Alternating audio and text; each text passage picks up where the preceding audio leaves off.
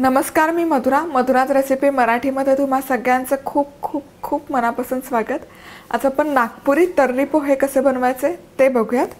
खूप मस्त चमचमीत आणि झणझणीत अशी ही डिश आहे. तर सगळ्यात आधी साहित्य काय घेतलंय ते पाहूयात. पोह्यांसाठी काय साहित्य लागतं ते बघूयात. तर इथे दोन कप पोहे आहेत. जाड पोहे घेतलेत. कांदे पोहे बनवण्यासाठी जे पोहे लागतात तेच. एक बटाटा छेलून असे बारीक तुकडे केलेले आहेत. या ठिकाणी कच्च्या बटाट्याऐवजी तुम्ही उकडलेल्या बटाट्याचा पण वापर करू शकता. त्यानंतर अर्धा चमचा मोहरी अर्धा चमचा जिरं पाव चमचा हिंग आठ ते दहा कढीपत्ता त्यानंतर दोन कांदे बारीक चिरून घेतलेले आहेत. कोथिंबीर आहे शेंगदाणे लागतील कच्चे शेंगदाणे मीठ चवीपुरतं पाव चमचा हळद आणि दोन हिरव्या मिरच्या बारीक चिरून. आता आपण तर्री बनवण्यासाठी काय साहित्य लागतं ते बघूयात. तर इथे अर्धा कप चणा आहे. हा चणा मी रात्रभर पाण्यामध्ये भिजवून घेतला आहे स्वच्छ धुवायचा आणि चणा भिजेल एवढं किंवा त्यापेक्षा थोडं जास्त पाणी घालून भिजवून घ्यायचं रात्रभर. त्यानंतर दोन कांदे बारीक चिरून घेतलेले आहेत. टोमॅटो आहे. टोमॅटोच्या थोड्याशा अशा मोठ्या मोठ्या फोडी करून घ्यायच्या. त्यानंतर इथे वराडी मसाला आहे. एक चमचा वराडी मसाला हा बाजारात मिळतो. वराडी मसाला तुमच्याकडे नसेल किंवा बाहेर मिळाला नाही तर त्याऐवजी तुम्ही गरम मसाला वापरू शकता काळा मसाला वापरू शकता कांदा लसूण मसाला किंवा तुमचा कुठलाही ठेवणीतला मसाला वापरू शकता. त्यानंतर एक चमचा लाल तिखट आहे एक चमचा धनेपूड मीठ चवीपुरतं जिरा अर्धा चमचा मोहरी अर्धा चमचा आणि एक चमचा आलं लसूण पेस्ट. तर्री बनवण्यासाठी सगळ्यात आधी आपण हा चणा उकडून घ्यायचा आहे शिजवून घ्यायचा आहे कुकरमध्ये हे चणे घ्यायचे. भिजवत घातलेले. पाणी घालूयात. आणि मध्यम आचेवर एक सहा ते सात शिट्ट्या काढून घ्यायचं. चणा शिजायला थोडासा जास्त वेळ लागतो. या ठिकाणी मध्यम आचेवर सात शिट्ट्या काढून हा चणा मी शिजवून घेतला. बघूयात फक्त शिजलाय का येस व्यवस्थित शिजलाय. व्यवस्थित असा मौसूद झालाय. आता आपण तर्री बनवायला घेऊयात. तर्री बनवण्यासाठी इथे मी दोन मोठे चमचे तेल गरम करून घेतलंय. तर्री हवी आपल्याला त्यामुळे तेलाचा थोडासा जास्त वापर आपण करतो आता यामध्ये सगळ्यात आधी मोहरी. मोहरी तडतडली की जिरं घालूयात. मोहरी तडतडली की जिरं. जिरं पण मस्त फुललं पाहिजे. बारीक चिरलेला कांदा. आणि मस्त असा सोनेरी रंग येईपर्यंत कांदा आपल्याला परतून घ्यायचा. आहे फ्राय करून घ्यायचा. आहे तुम्ही जर पहिल्यांदाच माझे व्हिडिओज बघत असाल आणि तुम्ही जर सबस्क्राईब केलं नसेल तर तुमच्या माहितीकरता हा व्हिडिओ बघताय तिथेच खाली एक तुम्हाला लाल रंगामध्ये सबस्क्राईबचं आयकॉन दिसेल. ते क्लिक करून तुम्ही लगेच बेल आयकॉन पण क्लिक करू शकता. त्यामुळे या ज्या रेसिपीज मी पोस्ट करत असते त्याचं नोटिफिकेशन तुम्हाला मेलबॉक्समध्ये येईल. आणि तुम्हाला जर एखादी रेसिपी सापडत नसेल माझी किंवा कुठली रेसिपी हवी असेल तर तुम्ही खाली कमेंट बॉक्समध्ये नोंदवू शकता. मी ते रेसिपीची लिंक तुम्हाला पाठवेन किंवा तुम्ही मला मेल करू शकता. Madhuras recipe at Gmail dot कॉमवर त्याचबरोबर तुमच्या काही अशा पारंपरिक पदार्थ असतील पारंपरिक रेसिपी असतील ज्या तुम्हाला शेअर करायच्या असतील तर त्या तुम्ही नक्की मला पाठवू शकता. खाली कमेंट बॉक्समध्ये नोंदवू शकता त्या रेसिपी किंवा Madhuras recipe at Gmail dot कॉमवर type करून पाठवू शकता. मी या रेसिपीज रिव्ह्यू करून नक्की तुमच्या नावासकट त्या पुन्हा पब्लिश करायचा प्रयत्न करेन त्याचा व्हिडिओ करायचा प्रयत्न करेन. आणि त्या रेसिपीबरोबर तुमचा फो फोटो पाठवला तर आणखी उत्तम. कारण मग जेव्हा मी रेसिपी बनवेल तेव्हा तुमच्या नावासकट तुमचा फोटोही व्हिडिओमध्ये डिस्प्ले होईल. या ठिकाणी कांद्याला मस्त असं सोनेरी रंग यायला सुरुवात झालेली आहे. आता आपण यामध्ये टोमॅटो घालूयात. टोमॅटोच्या शक्यतो थोड्याशा मोठ्या फोडी ठेवायच्या. टोमॅटो आपण मॅश नाही करणार आहोत. आलं लसूण पेस्ट लाल तिखट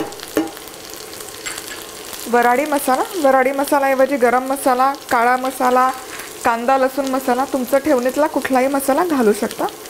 धनेपूड आणि हे मिसळून एक तीन ते चार मिनिट आणखी आपल्याला शिजवून घ्यायचं.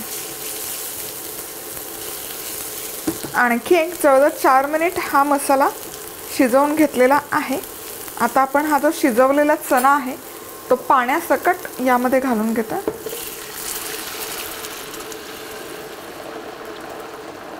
मस्त. त्याचबरोबर मीठ ढवळून घ्यायचं. मस्तच रंग खूप जबरदस्त आलेला आहे. आता आठ ते दहा मिनिट याला दणकून एक उकळी काढून घेऊयात आपण. या ठिकाणी तर्री मी जवळजवळ दहा मिनिट शिजवून घेतली आहे. फ्लेवर जबरदस्त येतो आहे रंगही तुम्ही बघू शकता किंवा तर्री. असं आता आपण पोहे बनवायला सुरुवात करूयात. पोहे बनवण्यासाठी इथे दोन चमचे तेल गरम करून घेतलेलं आहे. यामध्ये सगळ्यात आधी मोहरी. मोहरी तडतडली पाहिजे व्यवस्थित. मोहरी तडतडलेली आहे. आता जिरं. अर्धा चमचा. जिरं पण फुललं पाहिजे. हिंग कढीपत्ता हिरवी मिरची आणि आता शेंगदाणे घालायचे. शेंगदाणे थोडेसे आपण परतून घेणार आहोत. शेंगदाणे घातल्यानंतर हिरवी मिरची घातली तरी चालेल म्हणजे ठसका कमी येईल. शेंगदाण्याला हलकासा लालसा रंग आला की बारीक चिरलेला कांदा. कांदा व्यवस्थित मऊ होईपर्यंत परतून घ्यायचं. कांदा व्यवस्थित परतून मऊ झाला की यामध्ये बटाटा घालायचा.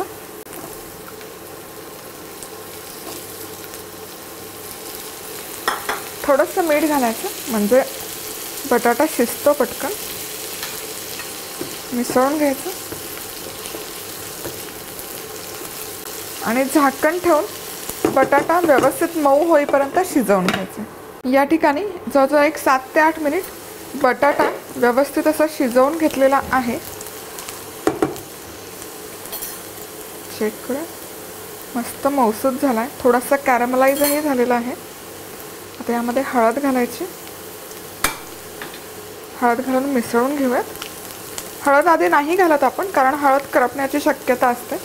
मस्त फ्लेवर खूप सुंदर येतं आता पोहे आहेत. पोहे इथे मी व्यवस्थित स्वच्छ धुवून भिजवून घेतलेत. पोहे स्वच्छ धुतले पाणी उपसून झाकून ठेवले होते. मीठ घालूयात. आणि हे मिसळून घ्यायचे. तुम्हाला हवं असेल तर थोडीशी चिमूटभर साखर पण घालू शकता पोह्यांमध्ये. आता हे व्यवस्थित असे मिक्स करून झाले की झाकण ठेवून एक पाच ते सहा मिनिट मस्त वाफ काढून घ्यायची. मस्तपैकी एक पाच ते सहा मिनिट असे वाफवून घ्यायचे पोहे. वाफवलेले पोहे खूप छान लागतात चवीला. आणि आता आहा मस्त वाफ येते. यामध्ये कोथिंबीर. कोथिंबीर सगळ्यात शेवटी मी घालते. कारण मग आधी घातली तर त्याचा असा छानसा हिरवट रंग नाही राहत. म्हणून सगळ्यात शेवटी.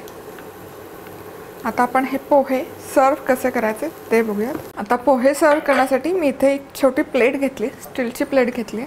मस्त गरमागरम वाफाळलेले पोहे.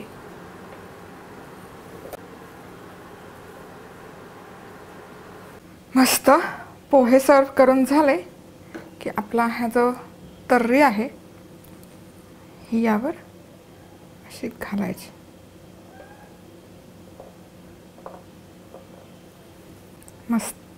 मस्त गरमागरम वाफाळलेली तर्री. बारीक चिरलेला कांदा. बारीक चिरलेली कोथिंबीर. आणि शेव.